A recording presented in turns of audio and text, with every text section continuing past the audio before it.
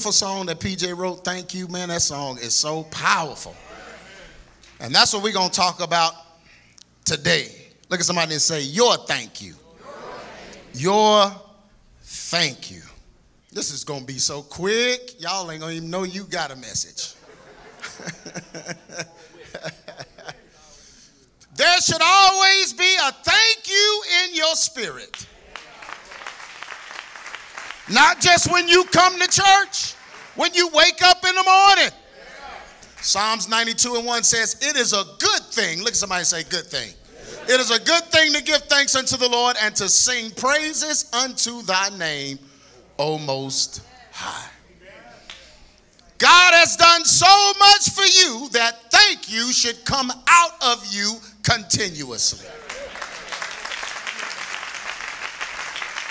Amen.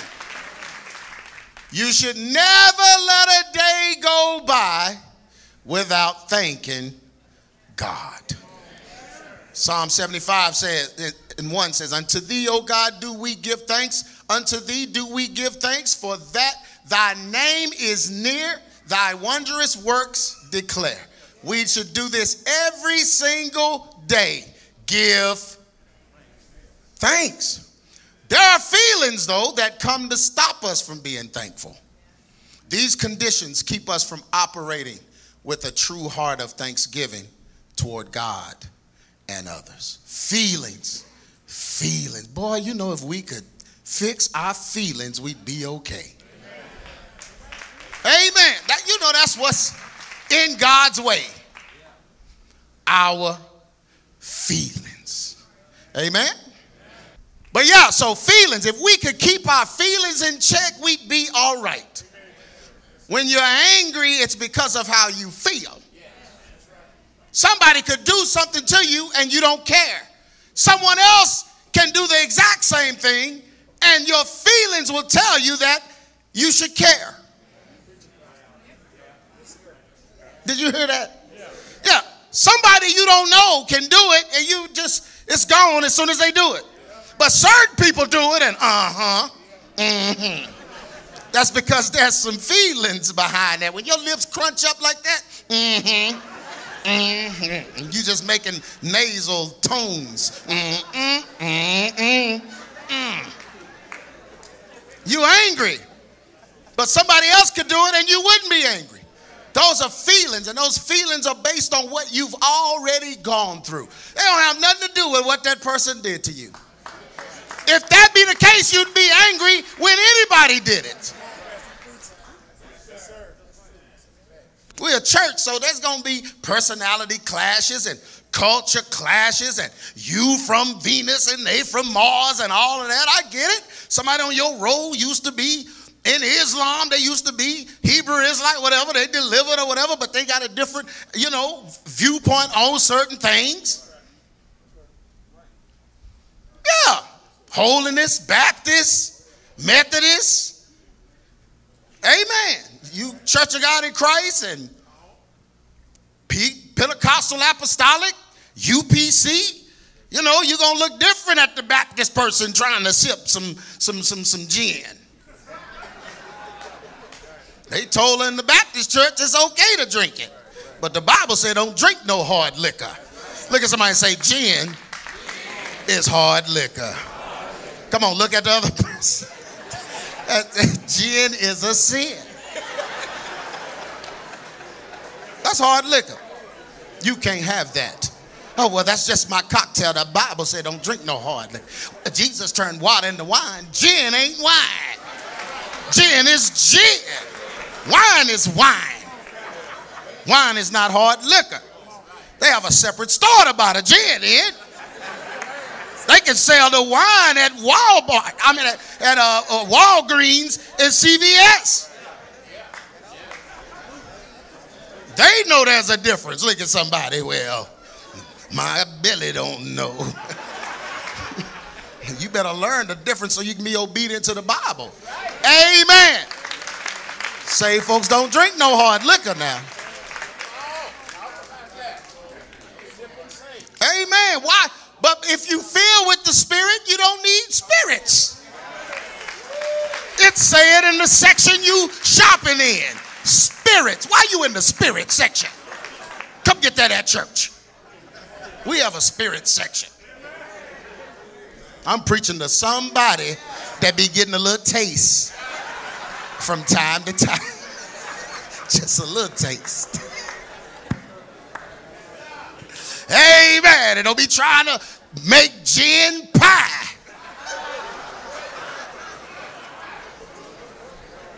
Pie just floating. just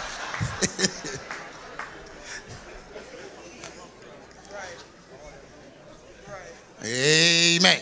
Well, the alcohol cooks out of it. You ain't gonna have nothing left. It's mostly alcohol. I know Thanksgiving is coming. Amen. I know that's the time when, amen, you go to trying to experiment. What if I put some vodka, vodka in this dressing? I wonder what would happen.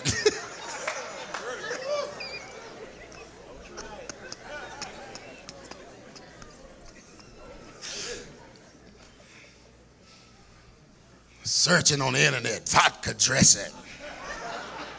It don't exist. But these are all feelings, and, and hard liquor messes with your feelings. Weed mess with your feelings. Amen. Why is weed? I mean, what? That's the. It's just synonymous with the black community now. I know white people smoke it, but they don't smell like it. We all got a. Our whole section of town smell like it. You go in the stores in the black neighborhood, just the whole store smell like weed. Weed. Yeah, they want you on weed because weed gonna keep you in your feelings, and if you stay in your feelings, you won't make good decisions. That's what weed does. Keep you in your Negro feelings. I can say it because I'm black. Amen. You better be glad I said Negro. Psalms, oh, I already read that. But there are feelings that come to stop us from being thankful. And these are the things that the enemy does. He tries to bring forth feelings to mess with your ability to truly thank God. So here's five things real quick. I said it's going to be quick. What time? It's going to be, no, I ain't going to take my time. I'm not. We're going to do this quick. five things that hinder your thank you. Five things. The first thing, narcissism. Now, narcissist, like a real narcissist, there's really no hope for that person. I'm sorry. There's no hope because you can't talk to a person that think they are they have all the answers. So it just kind of cancels them out. That's why you know you just I mean no matter what you say, you can't get through because they know more than you or they think you know you just. But the spirit of narcissism can sometimes affect us in certain ways where you're not necessarily a narcissist, narcissist, but you have narcissistic behaviors. Does that make sense? So you don't just have the demon of narcissism, but you think you somebody. Amen. And pastor come correct you. Yeah, well, you know, God been showing me that. No, he haven't. If he been showing you, you would have changed. So you mean God really? We get that all the time, don't we? I was just about to talk to you about that. No, you wasn't, or you would have talked to me about that. Just go on and man, don't be a narcissist. A person with narcissistic personality disorder is never thankful. This is what makes him so messed up. That's how the devil can walk around deceiving and God made him. Now think about that. You can walk around the enemy of the one who made you. That's the ultimate form of narcissism. You really have a problem with the person that is responsible for you being here. You wouldn't be here without him. So the devil is never thankful. And people that are narcissists or have these traits, they aren't thankful. Even when they say thank you, they're not thankful. That's the sad part about a narcissist. A narcissist can act just like they're not one and be one. So even when they say thank you, they don't mean it. Their concern is their own feelings and how others owe them gratitude, apologies, money, care, love, concern, etc. They believe that people owe them something. That's a sad way to be. Do you know nobody owes you anything? Do you know God don't owe you anything? But a narcissist actually believes that people owe them something. They believe that they should be considered even when they aren't considerate. So this narcissistic spirit can get on you and it'll start hindering your ability to say thank you, especially to God, because you'll begin to expect God to do it as if He should. Yeah. This is the spirit of Satan himself and a very hard disposition to be delivered from. It's impossible for you to truly thank God when you feel he owes you. Yeah. You feel he owes you. Look at somebody and say, God don't owe you anything. But you owe him a thank you. Amen. Amen you know, your mother and your father, and I've already done the message, honor them and all of that, but do you you know how much you owe your parents? Do you really know if your parents had walked around with a ledger and took some notes? You know you can't talk to them any kind of way.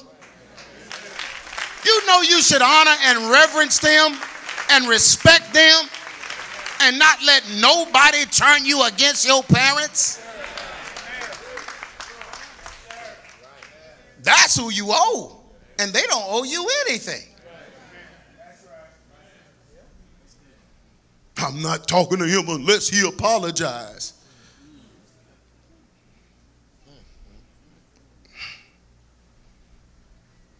Amen. Philippians 2 and 3. Let nothing be done through strife or vainglory, but low in lowliness of mind, let each esteem others better than themselves. That's the opposite of narcissism. To be able to look at someone else as better than yourself. He didn't say equal to yourself. Esteem them better. More important. I think I'm preaching in here, but it's quiet. Amen. But this is a real spirit. You got to pray this spirit off, especially if you grew up under one. If you grew up under a self serving person that was very selfish, only thinking about themselves and how they felt, and all, always worried about what other people might say and all that. We don't want them to think this and we don't want them to think that. If you grew up under that, then that's going to turn you into one. So you got to pray against this spirit. Amen. And stop worrying about what folks think. Stop it. Now, ooh, don't say that because then they gonna think we what? Me briefing your children before you go somewhere. Okay, now don't if they say this, now don't talk about this because then they gonna think we.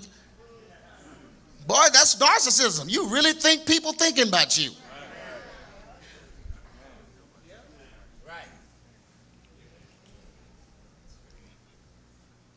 Discontentment is the enemy of a thank you.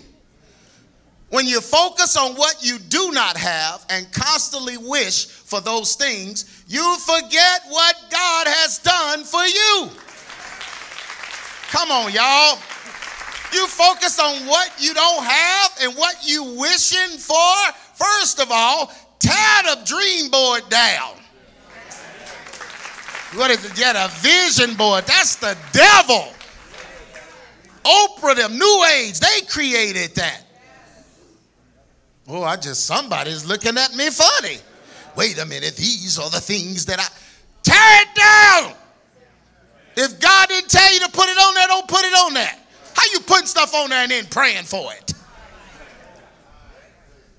You're supposed to pray first. Ask God, is that what he wants you to do? And you know what he gonna say? Wait I say on the Lord. I mean, he probably not gonna sing that. He gonna tell you to wait. They that wait upon the Lord shall renew their strength. Mount up with wings. You got to wait on God. Well, I put the picture up there so I can watch it while I wait. No, you don't know if that's what God has for you. Amen. Back when I was 18, 19, just think if I had made a vision board. Because you know what would have been on it? Music, production. Had my production, this gonna be my studio. This gonna be, and that would have been on my vision board. And God had a whole different plan for me. Then he gave me the production and all of that, but it was after I did what he told me to do. But if I'd been watching that, I'd have thought anything else was to take me away from the vision. See, that's what a vision board does. It locks you into what you said. Take the picture of them cars off your refrigerator. Instagram. You posing against cars you know ain't yours and will never be yours. Let God bless you. Can I tell the truth in here? Every Cadillac you see, you done took a picture next to it. One of these days.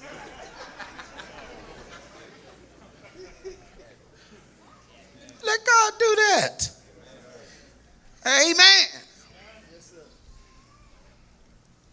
When you focus on what you do not have and constantly wish for the things you forget, you forget what God has done for you. A person that struggles with contentment will miss God's blessings altogether.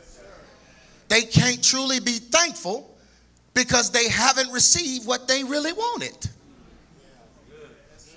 So you in church, people lifting their hands or whatever, you can't get really get involved because you haven't gotten what you wanted yet.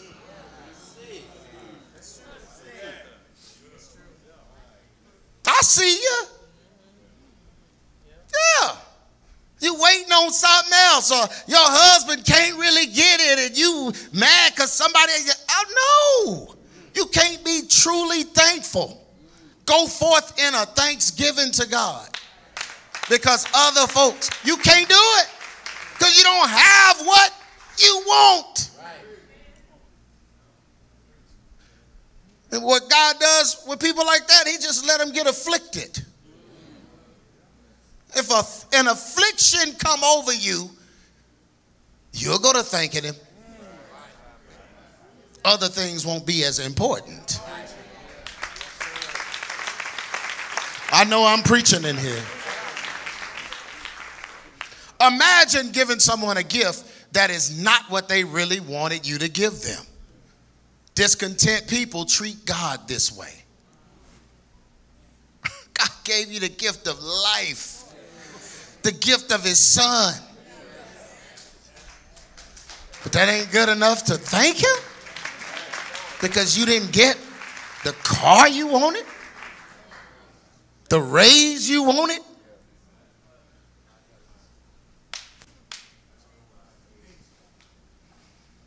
Discontent people treat God this way. After all He has done, they are still not happy. Hebrews 13 and 5 let your conversation be without covetousness and be content with the things as ye have. For he had said, I'd never leave thee nor forsake thee. Look at somebody say, Be content. You can be thankful for what he's done so far, and God will continue to do things for you. But if you stop being thankful, because of what you didn't get, the cankerworm is coming. And he eats everything. Can I keep preaching in here? Pride. You can't tell him nothing. A person that is prideful is always worried about what people are thinking or saying about them. So these people neglect to thank God for what He has done because thankfulness is an act of submission. A prideful person can't submit. So when a person's too prideful, they can't lift their hands and give God praise. Because that's an act of submission, which is the opposite of pride. Amen. And y'all better, you know, we, you know, thank God for what you got and who you are and all that, but don't ever be prideful. Amen. Don't think you did it. We can't be prideful for what God did. So pride has to come because you think you did it. And quit telling us how you did it. I don't want to hear that. Every time I see you, you talking about what you got, what you gonna get, where you going, who you and yeah, I cannot just no, that's pride. So I know you're not thanking God because you just spent 10 minutes telling me what you've done. Amen. That's why it's so hard for entertainers and professional athletes and different ones to, to, to live a saved life. Because there's an element of pride that comes in a lot of them that they want to talk about what they've done and their accomplishment and what they're capable of. Their whole life they are being graded, their existence is graded. Yeah. So if you can run faster, jump higher, an element of pride may slip in there.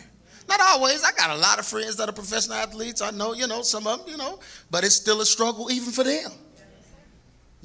Folk want your autograph and different things for throwing a ball, dribbling a ball. Now you better than regular people. So that's something you got to constantly battle. That's pride. Then it gets hard for them to lift their hands and thank God and give God praise. Amen. We don't. You don't have to be no professor athlete. You just do hair better than everybody in the city. I can do the best baby hair combs and swirls. My baby hair swirls are the best. Nobody can do it. I can do them with my eyes closed. I, I can. I lick the brush. I, I don't even use no chemicals. I lick the brush, and I will just. I draw some baby hair on there. You don't need no hair. I draw it. I draw it. I draw it. Can't nobody Nobody do it like me. That's pride.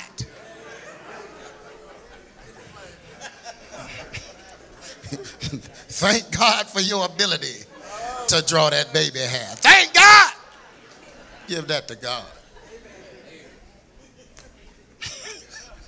but even though God is great, their pride makes them hesitant to be truly grateful and show their gratitude because to do that it requires humility. This walk of Christ that we're living on, I mean, that we're living in, it requires humility. Amen. It requires humility. It requires humility to the point of taking wrong when you're in the right. Uh oh. Uh oh. Yeah, yeah. Somebody did you wrong. And they come to you. You can't go off. You can't talk nasty. You can't roll your neck and your backbone slip. You can't do none of that ghetto ratchet stuff. You got to receive their apology. And if they say you hurt them, you got to, well, I apologize, sister. I'm sorry about that. But because we're here in a fellowship, I got to take wrong on this. I can't walk around in opposition to my brothers and sisters. I can't. Now, if I got to do it, all y'all got to do it. And I have to do it all the time. Some folk I want to lock out of this church. They come to the door, hey, hey, hey, it's 1030. Hey, you can't come. But I can't do that. I got to love them. And if they say, Pastor, when you looked at me your eyes, I know you was trying to tell me that you don't like me. And I got to hear that. Oh, that's a true story. I got to hear that. And you know what I got to say? You just. No, no, I want to say. Uh, but you know what I have to say? I'm sorry. I'm sorry if I did that. I did not mean it that way. You know we good. You know we good. Okay.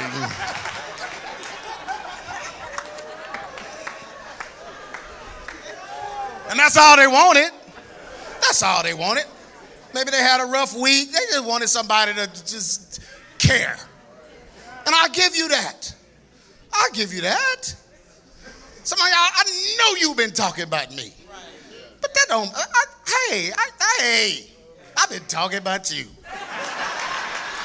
We can make this work.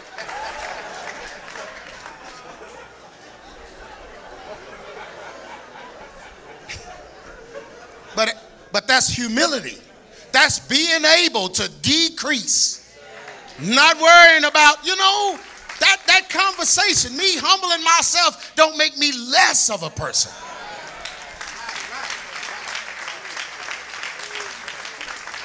And if I want to stay in good with God where I can lift my hands and thank Him in confidence, then I have to make sure behind the scenes I'm humbling myself and operating in humility and esteeming others important.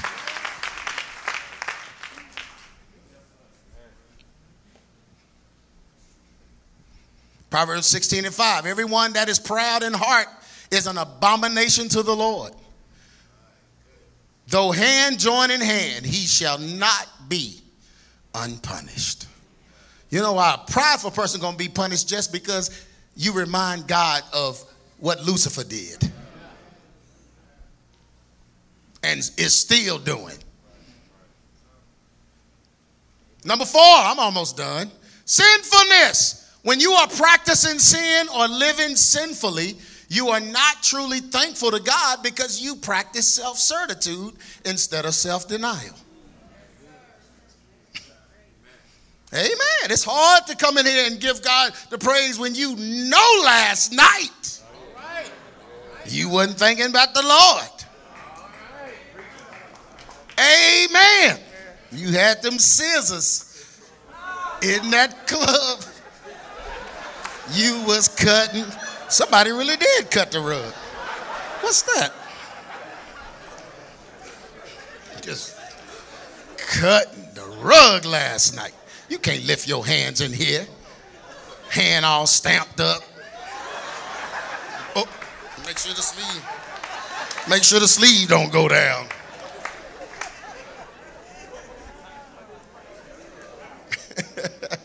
Yeah, but that sin, practicing sin, will definitely get in your way, get in the way of your thankful. Your, your, your thank you. When you constantly please your flesh, you will struggle to be thankful to God. I know I'm preaching. In other words, if you haven't been set free, then you are bound, and the enemy can constantly rob you of your praise and thanksgiving. 1 John 5 and 18, we know that everyone who has been born of God does not keep on sinning. But he who was born of God protects him, and the evil one does not touch him. And the last one, envy. This gets in the way of your thank you.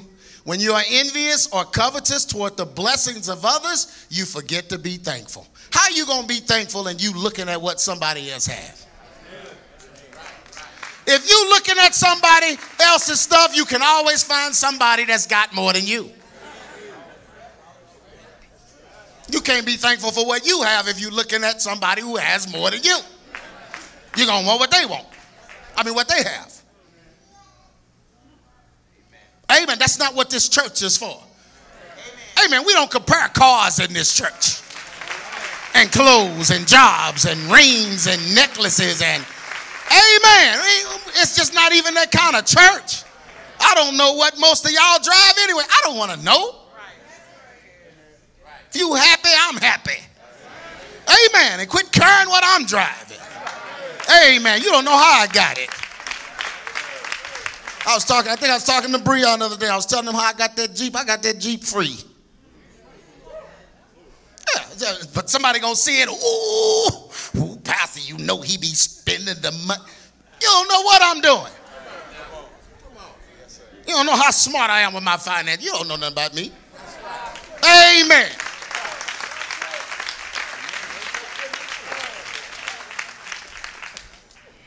People just, boy, they think they know and go to talking. That's why God hates it. He said that's one of the things he hates. People that's jawing in other folks' business.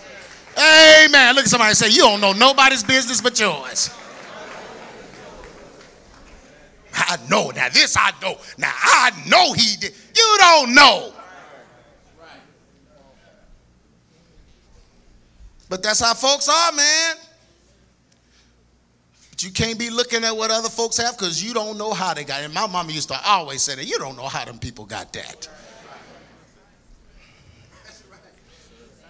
Amen. They got a new car. Oh, see, that's God speaking. It's time for us to have a new one. We can't keep parking this bucket next to theirs. It's time to get a new one. You go get a car just because somebody else got one, you know what's going to happen in 18 months. Y'all know that sound. It's like no other sound on the street. You know what that is. Somebody coming to get something. I don't even know how they drive that, that truck. It's about five gear shifts on it. And they use all of them. They want to make the most noise possible. Every, every time they hit it, your heart just, oh God, they coming. He driving around the neighborhood a couple of times, just in case somebody else is behind. Don't you be buying no car because somebody else got one. Amen. And you know this is 2023. They don't even call that truck no more. They just hit a button. Wherever you are. And you know what it is. You don't ever be like, oh man, the car. No, you know.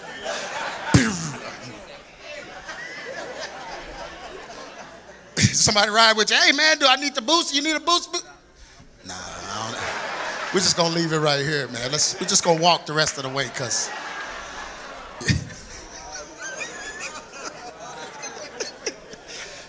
but that's what happened when you get out there trying to compete with people. Amen. You don't know other people's journey. You don't know what God is doing, working in them. You can't compete with humans.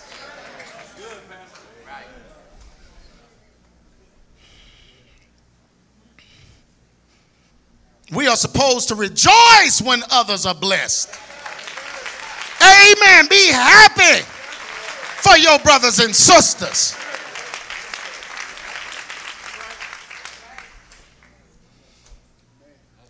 We're supposed to be, we're supposed to rejoice when others are blessed and then thank God for what He has done for us. So you be happy about what they have and then you thank God for what He's done for you. Amen. when you are envious of others, you forfeit God's blessings for you. So, what you would have gotten from God, you can't get because your eyes are on somebody else. Amen. Oh, I'm believing by faith. I'm going to walk around the dealership seven times. I'm going to walk around it. None of that stuff works. Walk to work seven times and then keep walking. Keep going, keep going. Go seven, then 70, then 70 times seven. Then you have some money, you can go buy something. Look at somebody say, stuff costs money, not prayers. Say it costs money, not prayers. Say that. Say it. Somebody just, oh, no, no, I'm, I'm going to believe. No, it costs money, not prayers. If you don't have the money, you can't buy it. You can't write a scripture and put it in the gas tank. You're going to mess that car up.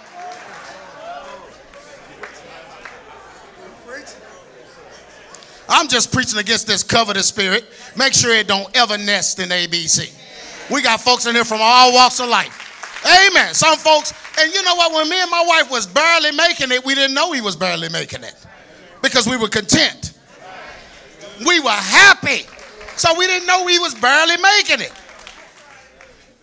We was on the county assistance and still having parties. Mimi was over there eating shrimp. Tell him, Mimi. That's when the Lord say, get off of it. You, you, you're misusing. Can't have a crab ball with the Lone Star card. Amen. God said, that's enough. All right. I parked right there for a little bit because I needed it. But then when you don't need it, you stop. Amen. Amen. That's for somebody. Amen. WIC, they still had a WIC program? We was on that WIC program, man, and learn how to work it and make it work for us. Amen. Boy, see, folk don't know. You see the glory, but oh. Elder Willie taught me how to make grits with them grits you get on WIC. And them the, and the best grits. Them the best grits. Now you gotta cook them half a day.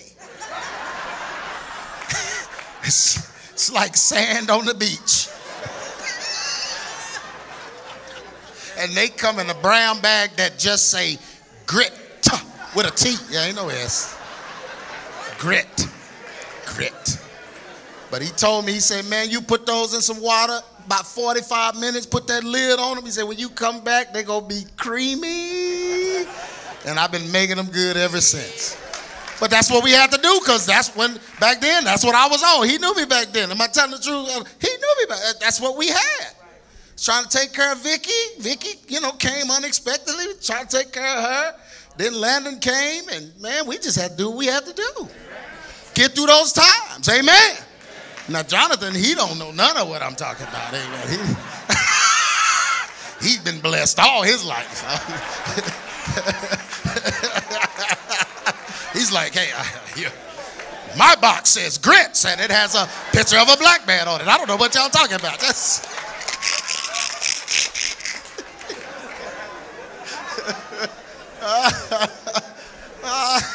I have the real Captain Crunch. I don't know who King Vitamin is. I don't know who King Vitamin is. I, I see you, the captain.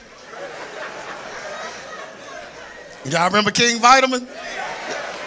These folk too young. I need to preach this at an old folk church. King Vitamin. And it didn't come in no box. It was a bag, Jack. It was a bag, and then they gave you the little tie to tie it up, just stuck on the side. It was Captain Crunch. It just wasn't, they forgot the sugar. If you put your own sugar on it, it's Captain Crunch. And in our house, it better be Captain. When I was growing up, uh, because you ain't getting the real Captain. Amen. King Vitamin, man. They still sell it. Well, all I know is they wouldn't let you get the real Captain with the with the WIC. It do tear the roof of your mouth up. But see, what you have to do, you got to put the milk in there and then go do something else. Tell them, you got to put the milk in it, go do something else, then come back. When you come back, it's the right consistency. Tell them, David, the right consistency.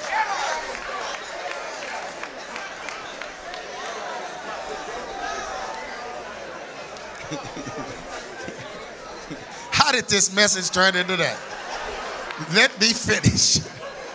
when you are envious of others, you forfeit God's blessings, though. Luke 12 and 15, and he said unto them, Take heed and beware of covetousness, for a man's life consisted not in the abundance of the things which he possessed.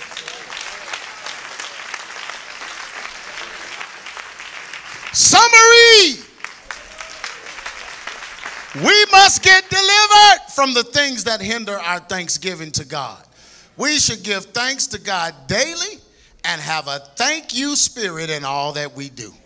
Even when others bless us, we should be thankful and what? Say it. Don't just assume people know you thankful. Say it. Our attitude should be of thanksgiving and not entitlement or covetousness. He has kept all of his promises, even when you didn't keep yours. He has made a way when there was no way. He kept you alive when you deserved to die. He forgave you when you didn't deserve another chance. There is so much to thank him for. When we break free from narcissism, discontentment, insecurity, sinfulness, and envy, we can be what? Free to tell the Lord thank you for all that he has done for us each and every day. of our lives.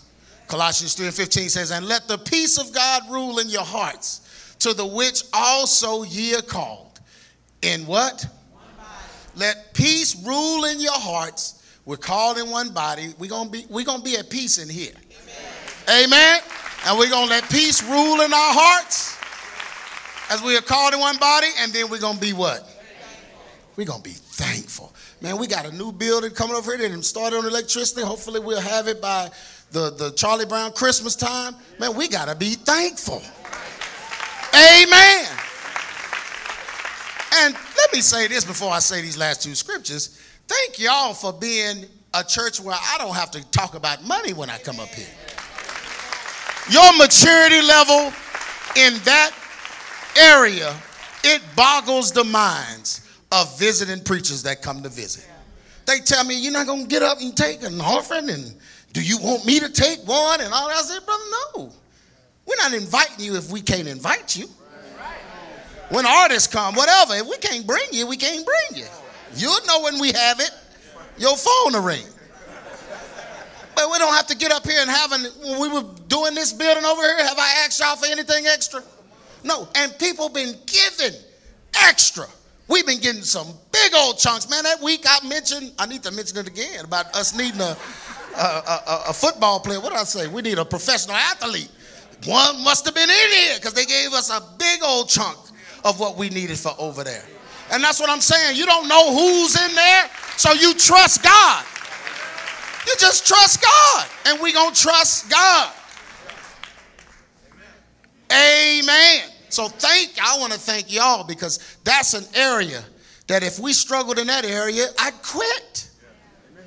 Because I ain't finna get up here and get no heart attack trying to pay for stuff. Amen. I don't have no prescription bottles. I don't plan on having none. Amen. Once pastor requires me to have a prescription, I quit. I'm just putting you on notice. So don't get on my nerves. Don't raise my pressure. I got to take, I, amen. But thank y'all, y'all for being that kind of church. That means that y'all really believe that the word y'all are getting is beneficial. Amen. If you're benefiting from it, the church is going to benefit from you being here. Let the peace of God rule in your hearts, to the which also ye are called in one body, and be ye thankful. And let the word of Christ dwell in you richly in all wisdom, teaching and admonishing one another in psalms and hymns and spiritual songs, singing with grace in your hearts to the Lord.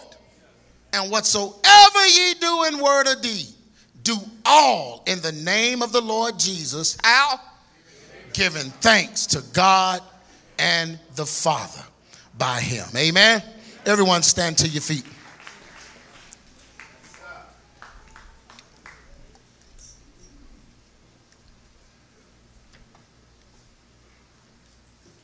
A thank you is always in order when it comes to God. We owe him that. But these hindrances, man, devil will put a spirit on you to mess up your ability, put a spirit around you, put a situation or an issue in your life to block you from being able to give God thanks. And I want to break that off, whatever it is, so that you can thank God every day of your life. Give him the thanks he deserves. Just come on up. If you know you've been struggling in that area or something's been going on in that area and you won't, hey, Lord, I need to be free. Especially when I come to church, man, I don't need to be thinking about no ruckus in the church. No foolishness and stuff. Man, I need, no, when I come here, I need to give God thanks. It don't need to be weird in the church. This is the place where I can just thank God for all that He's done. Then I got to remember all He's done. Bring it to my remembrance. The reason I decided to come here. You know, you can forget the reason you came here. Cares of this life, issues, bad, all the stuff made you forget the reason you even came here. You came here because you knew the word was true and you wanted to be in fellowship with believers, like minded believers. Amen. And the devil will have you bickering with like minded believers, not getting along with folks and having issue with people to keep you from thanking God. and to make you forget the very reason this was your favorite place to be. So we're going to break that right now. Break that, break that. And believe God so that we can say thank you. We can say thank you. We can say thank you. I don't want to think about that no more. I don't want to think about it no more. I want it to be just gone. I want to reset. Let's just start all over again. I don't want to think about that no more. That's how you need to be. I want to thank God. I want to thank God. I want to thank God. Amen. Hallelujah. Hallelujah. Thank you, Lord. Thank you, Lord. Thank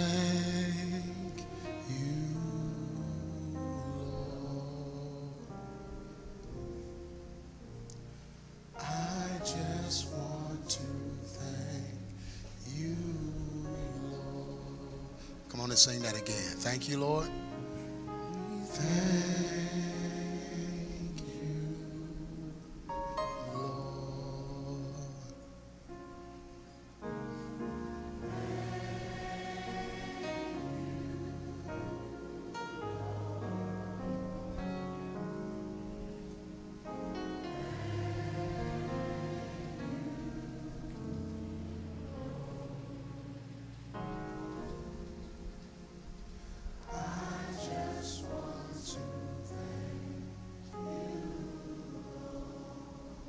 with our hands lifted up. Father God, we thank you, Lord. Thank you for being so good, for being merciful, for loving us, for being God. We thank you, Lord. And God, we come before you with our hands lifted up as a form of surrender. Just surrendering ill feelings, ill emotions, problems, circumstances, situations, issues, trauma, hurt, arguments, bickering, whatever it is, Father God, that's blocking our thank you. We release it right now. We release it right now and we consider it settled and over. Remove it right now from us, Father. Any spirits, Father, that attach themselves to us, spirits of narcissism, of envy, of jealousy, Father God, any spirits that attached it, itself to us, insecurities and covetousness, all of these things that may have attached themselves to us because of how we were feeling. God, we release that right now. We release that right now and we break that spirit off by the power of the Holy Ghost. In the name of Jesus. And Father God, we just surrender to you and give, we're giving you our thank you, meaning it from the depths of our being. Thank you, Lord, for putting up with us, for tolerating our foolishness, for Father God not throwing us away when we deserve to be thrown away. Father God, for not taking us literally for certain things that we even said. God, forgive us. And we thank you, Lord, because you are constant, you are consistent, you will always be there, and you will never leave us nor forsake us. So we say thank you. Thank you. Thank you, Lord. Thank you, Lord. Thank you, Lord. In Jesus' name we pray. Amen. Hallelujah. Come on, let's sing it some more. Thank you.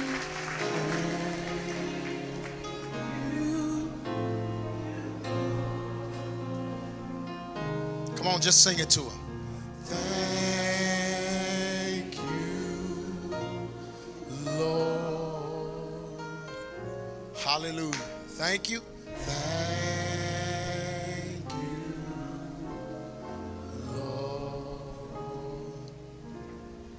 I, I just want to thank you, Lord. Come on, let's just tell him, You've been so good. Let's just sing that.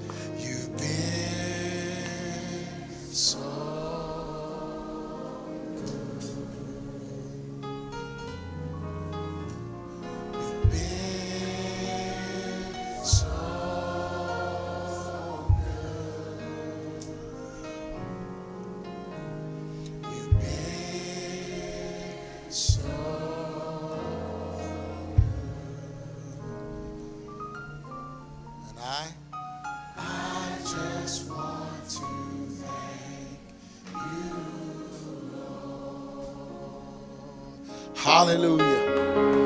Hallelujah. Hallelujah. Hallelujah. On your way to your seats, just hug somebody and say, Don't forget to thank him. He's been too good. Don't forget to thank him. Amen. Don't make it all about turkey and dressing and giblet gravy and cranberry